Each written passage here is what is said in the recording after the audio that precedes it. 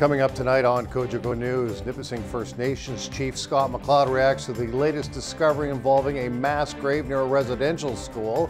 The health unit update, are we going to stage two next week like the rest of Ontario?